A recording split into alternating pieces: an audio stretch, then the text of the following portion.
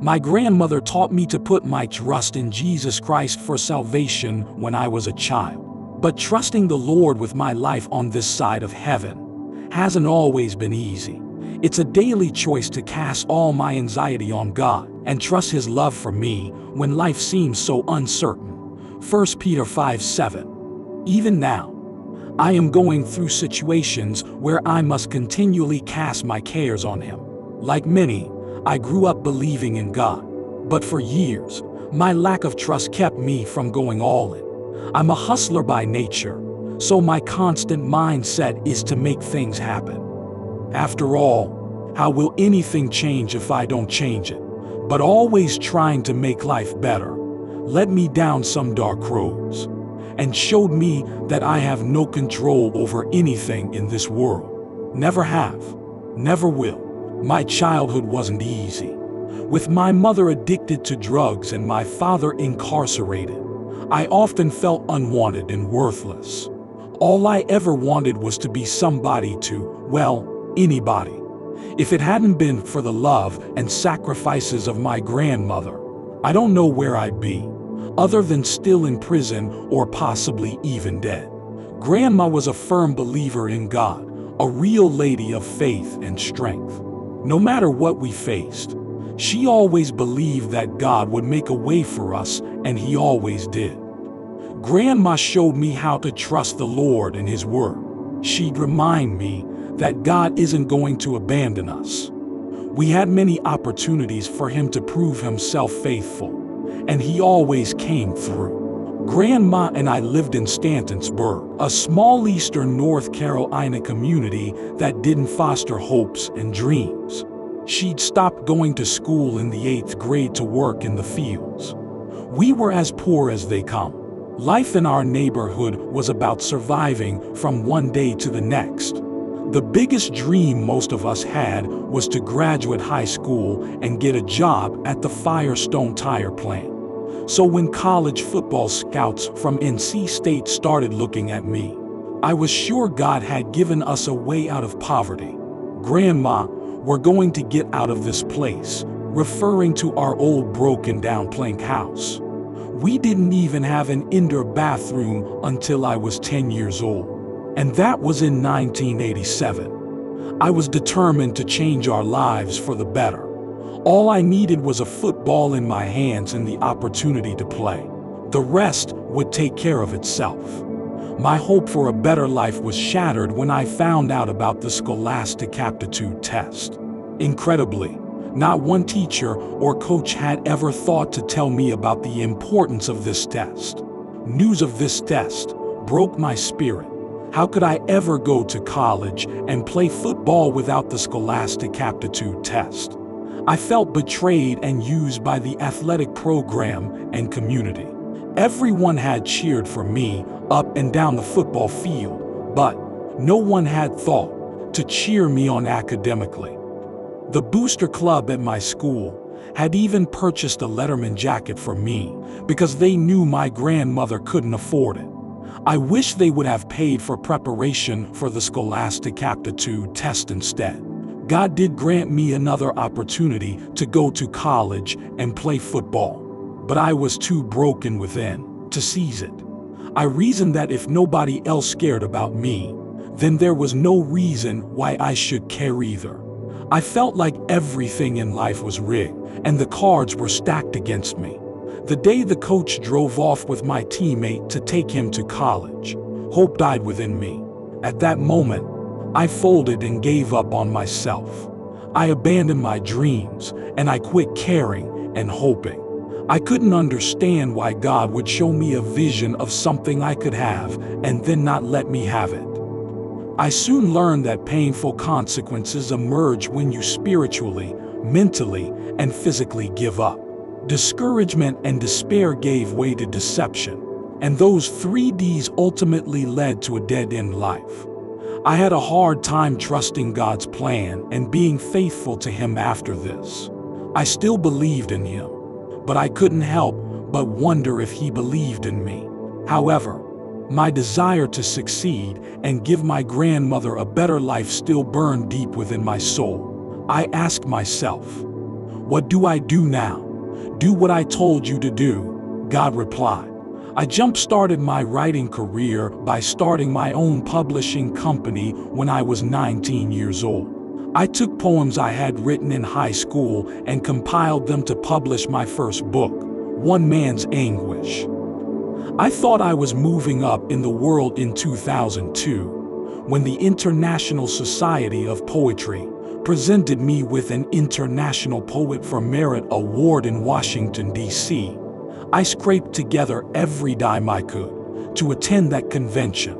I slept in my truck in a hotel parking lot all three days of the event. I brushed my teeth and sponge bathed with bottled water I took from the convention. The other attendees had no idea I was sleeping in my truck. I would go up in the elevator with them and act like I was going to my room. And then I'd walk back down the stairs and go to my truck for the night. Receiving that award sparked a glimmer of hope in me. For so long, I had felt like a nobody who had nothing to give or offer. No one had ever wanted to listen to me. How could I inspire anyone? But now, I couldn't ignore the fact that I held in my hand an award that exemplified my writing gift. It was proof that what I had to say did matter to people. The event brought back a God-given dream from my childhood, a vision of myself standing on a stage in front of many people. They were laughing, smiling, and crying. Surely this moment was going to change everything. Then I got back home and had to face the reality of my life. Hope once again grew dim. It seemed like every time I was just about to make it off the streets, every time I was about to reach my breakthrough, something would arise to block or slow my progress. This time, not only was it about the streets, it was about family. There's an unwritten code on the streets that you protect your family no matter the cost. Love and loyalty have always been both a gift and a curse to me. For years, I had been dealing drugs. But then, a relative started using, and money went missing from some powerful people. Suddenly, it was scrambling time. In my mind, I had two choices.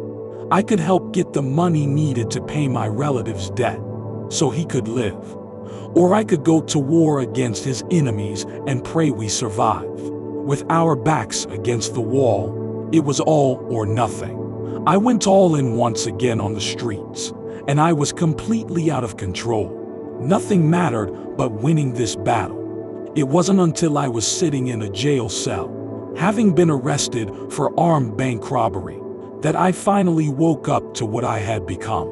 Without all the distraction of the streets, I was suddenly left with only my thoughts. What in the world did I just do? I robbed a bank. How did I get here? I was planning my book tour. Thoughts like these flooded my mind. I had gotten there because I had gone all into the streets instead of all into God. One year after receiving that poetry award, I was sent to Butner Prison to serve five years. I was 22 years old and not in a good place mentally. I was so tired of fighting and trying to survive. Tired of being homeless and trying to make something of my life. On top of that, my mother had just died.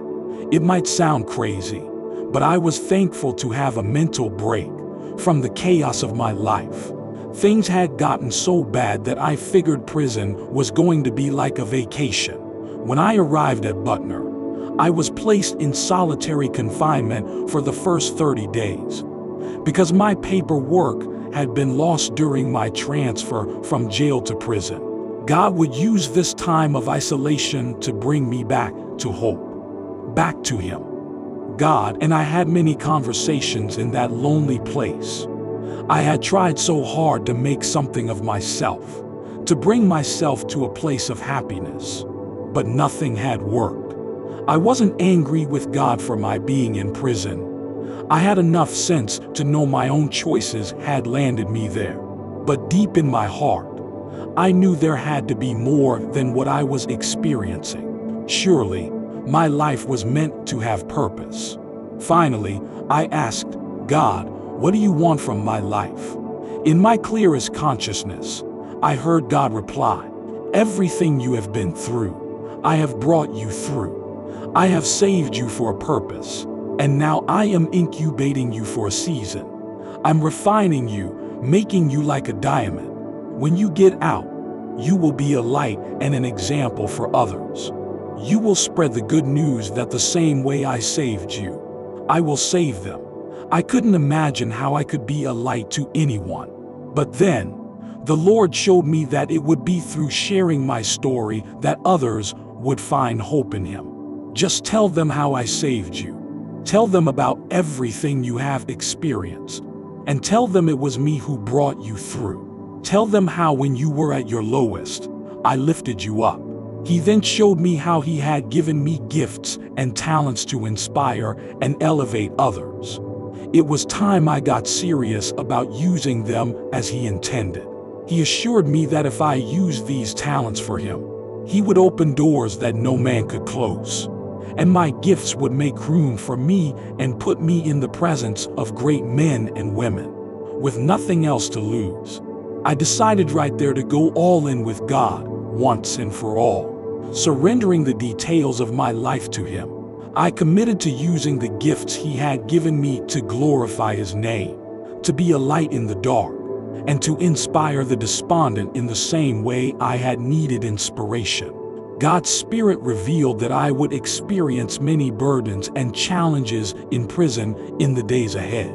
But He also showed me that if I would stay faithful, remain in His Word, and use my talents for His glory, he would carry me through to an incredible life journey.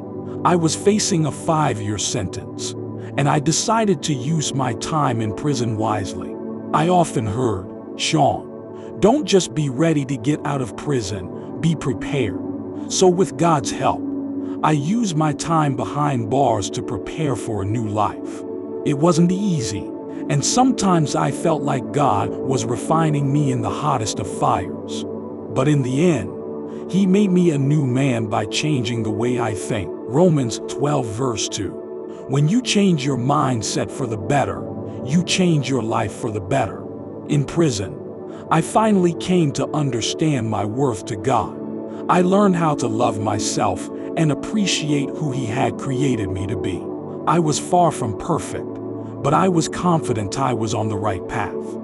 God helped me see that I was way more than the nothing I had always thought I was. One of the conditions ordered for me by the court was that I would see a psychologist and take anger management classes that led to a diagnosis of manic depression. Finally, I understood why I so easily lost hope and why one minute I could feel so low I'd want to die, and the next I would feel like I could conquer the world. Knowing this diagnosis helped me make great strides toward mental health. I used my time in prison to develop my gifts of writing and speaking. I published two books while behind bars, wrote plays, learned to play the piano, and gave spoken word performances. Before prison, I had used these gifts for my benefit. Now I understood they were to be used to inspire and elevate others, to point them to God. And I learned I didn't have to be perfect for Him to use me as a perfect example to help and save others. I thank God for my time in prison.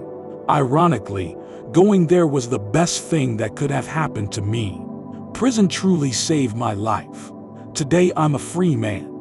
I have the privilege of inspiring others to find God's purposes for their life through various ministries and businesses God has given to me. When I meet people, I want them to see the power and grace of God in my life.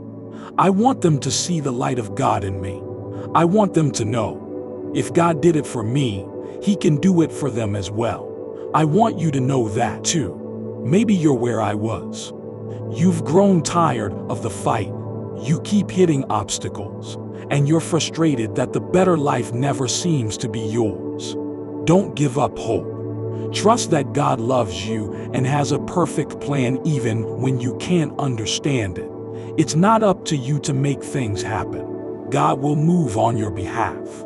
You just have to be willing to let go and let Him have His way.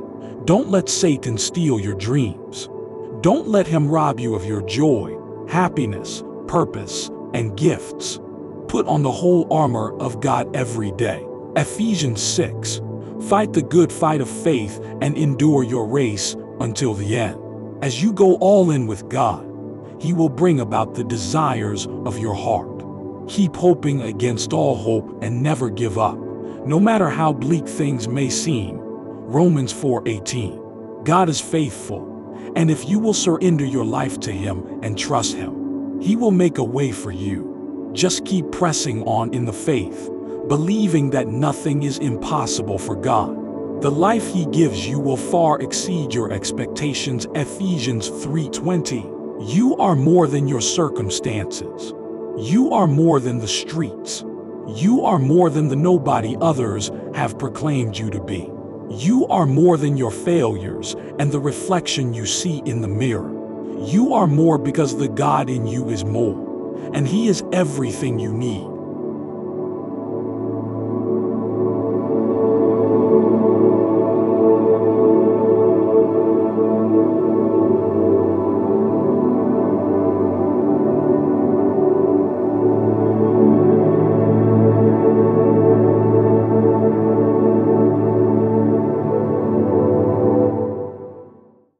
You an inmate in prison who needs encouragement? Write to us at Victorious Living, P.O. Box 2751, Greenville, North Carolina 27836. Thank you for listening to Victorious Living Storytime. You have just heard a story from Victorious Living Magazine, a bilingual quarterly publication. To view Victorious Living Magazine in its entirety, please have your chaplain contact us at 352 478 2098 or through our website, vlmag.org. We are happy to provide bulk copies free of charge with or without staples. God bless you.